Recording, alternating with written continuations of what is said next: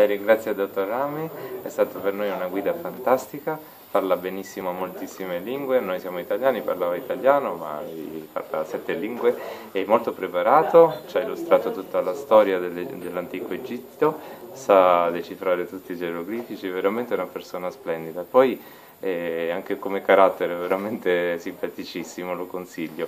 Grazie. Grazie mille.